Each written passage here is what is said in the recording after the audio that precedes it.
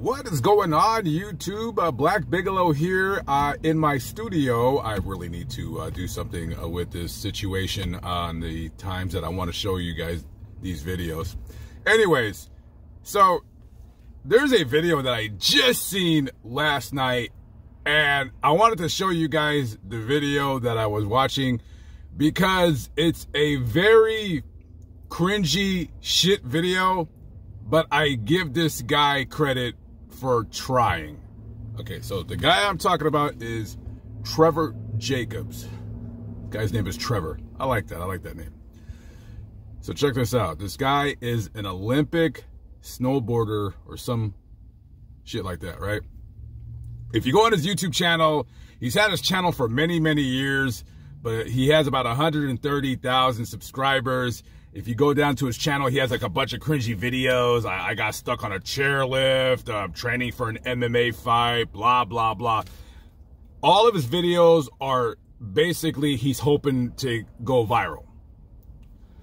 So he has his last upload, which he uploaded about a month ago. And in this video, he's flying a plane, a single engine Cessna, one of those scary ass planes that I don't want to get on because they're probably going to crash.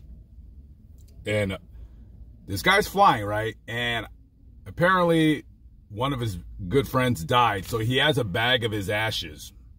And he's flying this plane. I'm not exactly sure where. It looks like Nevada somewhere. Who knows? So this guy's flying. He has a GoPro on the wing. And he has a, a GoPro somewhere else on the plane. And he has a GoPro inside the plane. And another GoPro that he's holding. Or on the seat, whatever. So in the video, he's like flying and all of a sudden he has uh, engine trouble, right? He's like, oh no, oh no, my engine, my engine. So he starts freaking out, quote unquote. And then all of a sudden, he just decides to strap on his parachute, which he conveniently had placed with him. And he jumps out while he's holding his GoPro on himself. And you can see him just going down, like, you know, falling away from the plane. And then the GoPro is still attached to the plane. And as you can see, the airplane crashes into the mountain.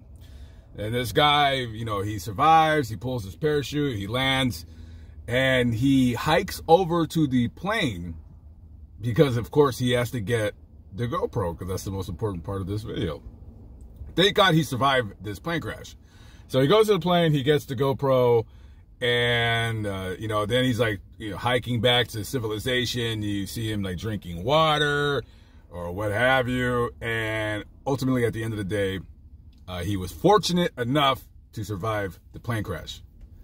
Now, obviously, this video is fucking fake just because of the fact that all his cringe-inducing videos are all about just trying to go viral, just trying to get that video viral. This guy has this guy has had this channel for so many years and he's done so many of these videos and he just really hasn't hit like the algorithm. He hasn't really got a lot of subscribers. So this guy uploads this video. It doesn't really go viral. I don't know what considering I don't know what's considered going viral. I really don't know what it is, but he, so far he has 1.4 million subscribers, uh, which for destroying an airplane, uh, I don't think it's worth it. Now, what evidence do I have that this video is fake? I don't have a lot. I'm not gonna lie. But just like how Squirmy and Grubs are fake, so is this video. First of all, he bought the plane about a month before he made before the he made the video of crashing it. Okay, uh, it's an older plane, 1979, um, single engine, so maybe he didn't spend too much money on it. I want to say that he cleared the wreckage himself. He didn't contact the NTSB or anything like that. And from what I looked up online, because I've always been interested in small planes. Now, I'm too scared to fly in them, but I've always been interested in me flying. Like, I know, right? Stupid ass, like, homeless guy in a van is going to buy a plane and, and go fly off uh, around but here's the scary thing about that. I could if I wanted to because I'm a YouTube baller, nigga. Isn't that funny? I could fucking buy a plane. Anyways. Or I could buy one of those uh, gyro things, you know, with the parachute, the, the parachutes or whatever. Anyway, so check this shit out.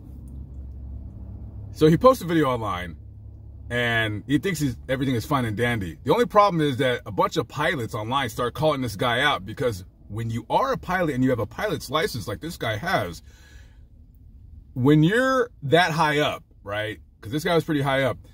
If you're all of a sudden your engine is conking out, the first thing you're gonna do is you're gonna try to restart the engine. And then you're gonna radio whatever airport is closest to you and if you can't get your engine restarted, you're to have to make a crash landing. Now, I with the smaller planes, it is possible when you're a good pilot that you can simply just glide the plane with no engine. It'll just glide, you know. You can glide it to a place where like, okay, I, I see a uh, a flat piece of land. I'm just going to do a crash landing, hope for the best.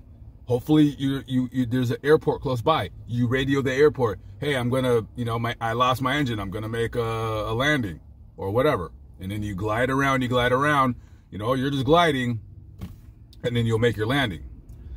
So this guy just made this fucking cringe video crashing a fucking plane in hopes of getting or going viral on YouTube. I will give this guy credit for this idea. It is clever. I give him credit for that. It is clever. It is unique. I don't think anybody has ever purposely crashed a plane on YouTube for fame and clout. But uh, I don't think this guy really weighed the ramifications of committing this uh, crime. I'm assuming there's some kind of crime in terms of, uh, you know, intentionally crashing a plane. Because number one, um, I'm pretty sure when he planned this, thing out that he flew with barely just enough gasoline to get him where he needed to go high enough where he crashed the plane. Because a lot of people were saying like, oh, you could have started a fire, blah, blah, blah. Well, I'm sure he thought about that. So his tanks were not full. But going past that, this guy, am, I, I'm going to guess, is going to lose his pilot's license forever. I think the NTSB, they're going to be looking at this video. They're going to be re- uh, interviewing this guy. Now, if you lie to them, that's a crime and they can arrest you just for lying. So he's going to have to tell the truth. He's going to have to uh, eventually admit what he did. And I believe he's going to lose his pilot's license I don't know if it's going to be forever, but he's going to lose his license for a good amount of years. Uh, personally, if it were me, I would, I think I would pull his license forever. Yeah, I would not let this guy fly ever again because here's the problem. This guy could have um, started a fire you know, a brush fire or whatever. I mean, yeah, sure, he crashed the plane when there was no homes around or whatever, but you never know. I mean, animals live in the area. What are you gonna kill a bunch of horses? Would it be a crash? What if the plane would have crashed into a pack of horses? I know who gives a shit, right? Well, I'm sure the horses would give a shit. So, yeah, that guy's pilot's license, in my opinion, needs to go. Uh, he's just a cringy fucking douchebag he turned off the comments on his video, so you can't go on there and leave any hate comments. Everybody's calling him out online. This video is kind of old already, so I'm, uh, I'm jumping on the uh, bandwagon, I guess. But, you know, none of you guys ever send me any, like, cool YouTube channels to call out or videos to call out or what have you. But, um, I don't know. Go uh, look up on YouTube. Go look up uh, Trevor Jacobs. Go check out his original video.